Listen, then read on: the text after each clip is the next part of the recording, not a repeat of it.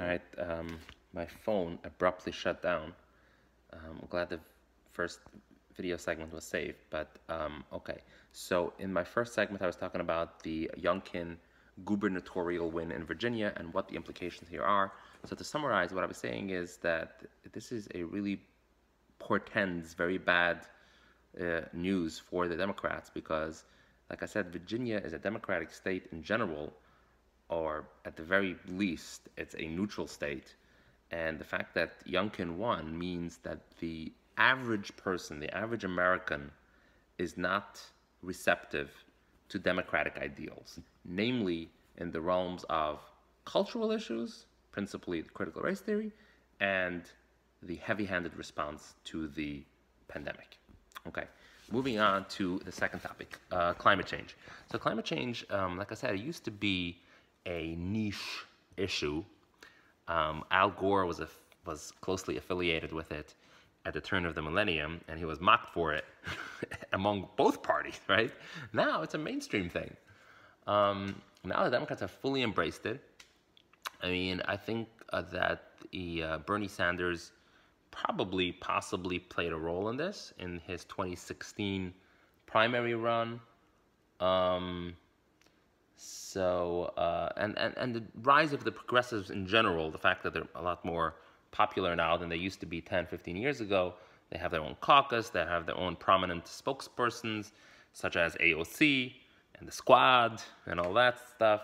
So, um, and of course, now you have Build Back Better, which is Biden's initiative, which includes uh, many, many millions of dollars, if not billions, probably billions of dollars, I should say. Um, I say many millions, it's many billions on climate change initiatives. So, question uh, Do I consider climate change a major threat to humanity? And the answer is that in the past, I did. In the past, 10, 15 years ago, I did become convinced based on what I was reading. I was educated, I've been educated for my entire life. So, based on what I was reading, um, and by the way, let me just preface that by saying that I was, in the past, I have been leaning Democratic. I should say I had been leaning Democratic and I switched. In the last four or five years, I am now, I could, I could pretty much say that I'm a conservative now. But, um, so, so yeah, so that's also a factor. But let me justify why I switched on this, on this topic. And the answer is, uh, number one, the, we, we, meaning scientists, scientists know that this globe has been um, has been swinging back between warming and cooling for a long time now. We're talking here millions of years. Okay, there have been ice ages and warm ages. Okay, everyone knows this. And so it's a cyclical thing. It just goes in a cycle. The planet cools and the planet warms. And so that's the first thing to note here that even though it is true that the human hand does play a role in accelerating this phenomenon, it is not true that if not for humans, this would not happen at all. That's not true. So that's the first lie, or I should say, the first omission that climate change um, advocates are omitting. Okay, so again, so to repeat, this is a thing that happens more or less for the, I should say, for the most part, the climate would be warming regardless. Now, it is true that our industrial activity accelerates this process. And so the argument could be proffered that, uh, that left to its own devices, it would be gradual and we would have time and ability to adjust. But if we accelerate it so fast, then we would not be able to adjust. Um, and this doesn't ring true either because over the last two, three hundred years, our technological progress has been so incredibly rapid.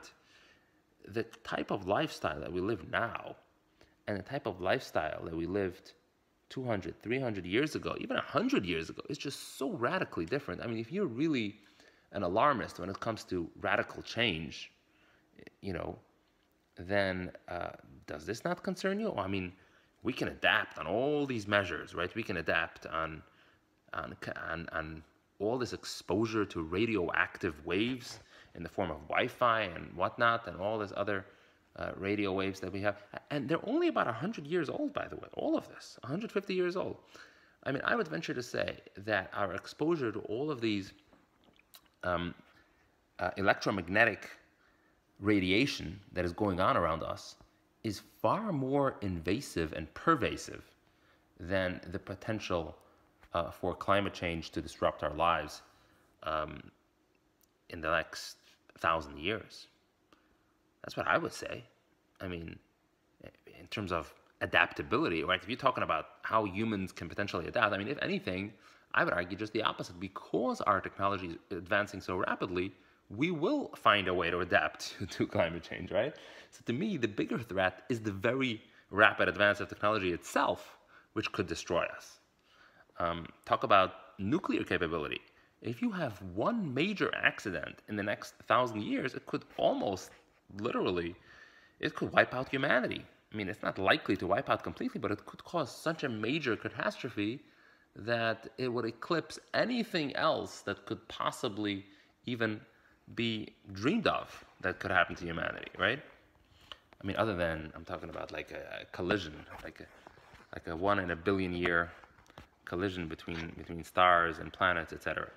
But other than that, I mean, a nuclear disaster would be uh, would be crazy. It would be the worst thing that could possibly happen, and it would dwarf anything else. So anyway, bottom line is that I'm just not convinced that this very very small change in climate um, from uh, you know the warming of the of the planet, I don't think that this is going to be a major issue. So there's now should we do absolutely nothing about it? No, I I I um I applaud initiatives that are intended to uh, to promote green energy and to reduce our footprint and to reduce the burning of carbon fuels. I, I support all that, but it has to be done within reason. It has to be done um, moderately without disrupting our lives uh, too much.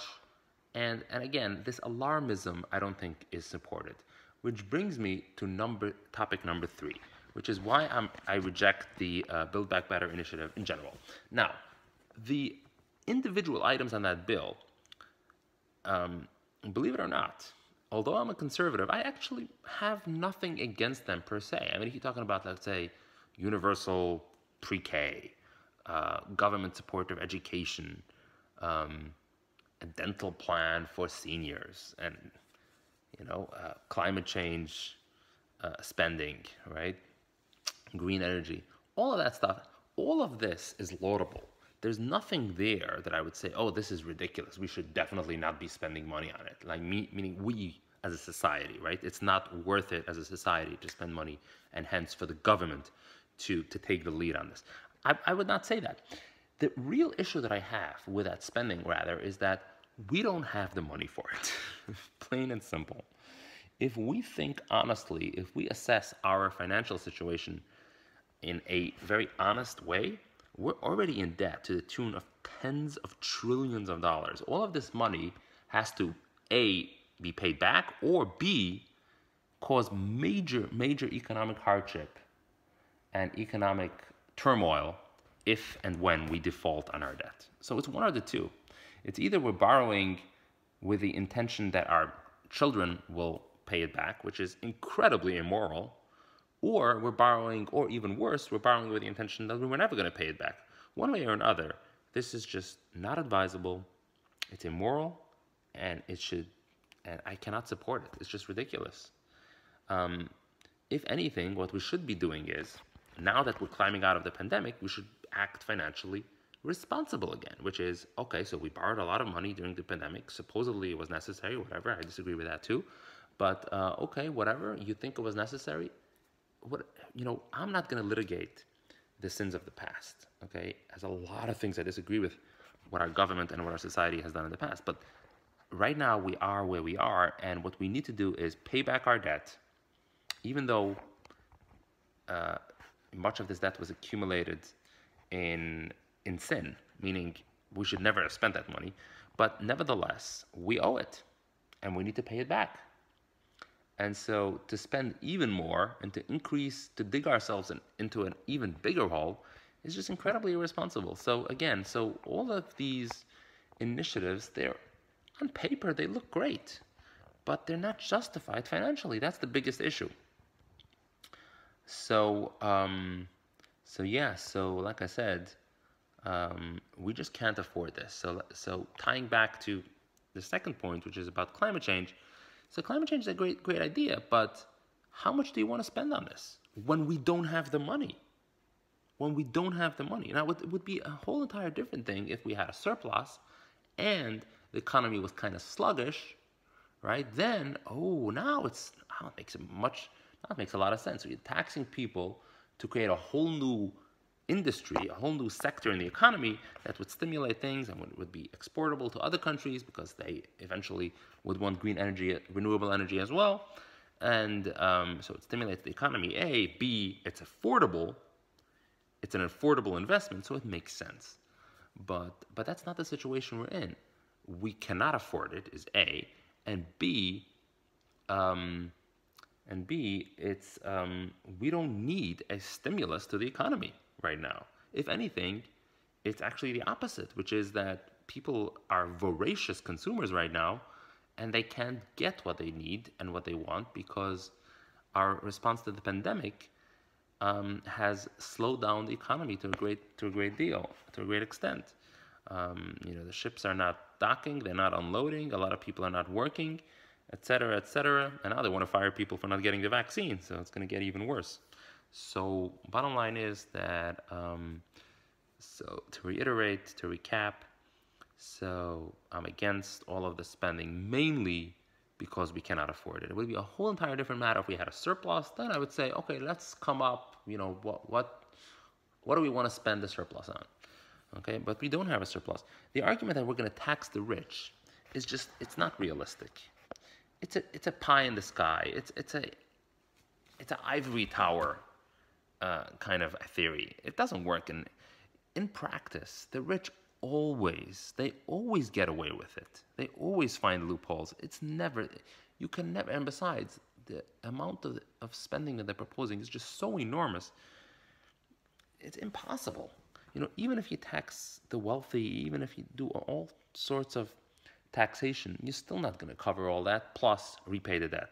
So, you know, really what's happening here is that um, the, the, Democrats are doing is the opposite of the uh, conservative argument that used to go starve the beast, right? Starve the beast was that um, that that we shouldn't tax to force the government not to spend. That was the argument of the uh, that used to be a Republican argument, right? Um, so the Bush tax cuts, for example, right? So Bush was a spender, but the idea go, goes the reason the conservatives support it is because eventually the government will be forced to stop spending.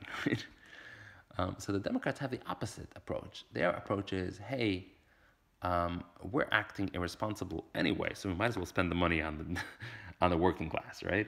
That's their their their attitude.